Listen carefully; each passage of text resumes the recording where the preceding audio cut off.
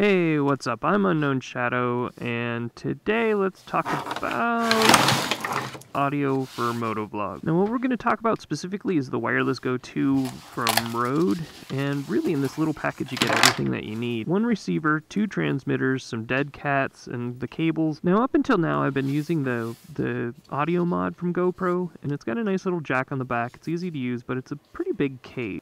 Previous to that, I had used the external USB-C GoPro mount, but it needed to be mounted directly to my helmet. With this new setup, I could actually take one of the transmitters, plug into my microphone, just mount it on the actual strap itself, just to make sure that it doesn't hit the padding, but nice and tucked away. It's definitely an easy enough setup, and the nice thing about these Wireless Go 2 is that the transmitter can actually record directly. I don't necessarily need an external audio recorder, but having one was is also a good idea just in case. And that's really all I have. Like, subscribe, comment, do those things if you like to do those things. But in the meantime, thanks for watching. Bye.